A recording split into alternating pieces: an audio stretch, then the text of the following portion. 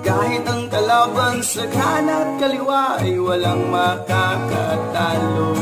Dahil siyang Diyos, ang Diyos ng Himala Sa Kanya'y manalig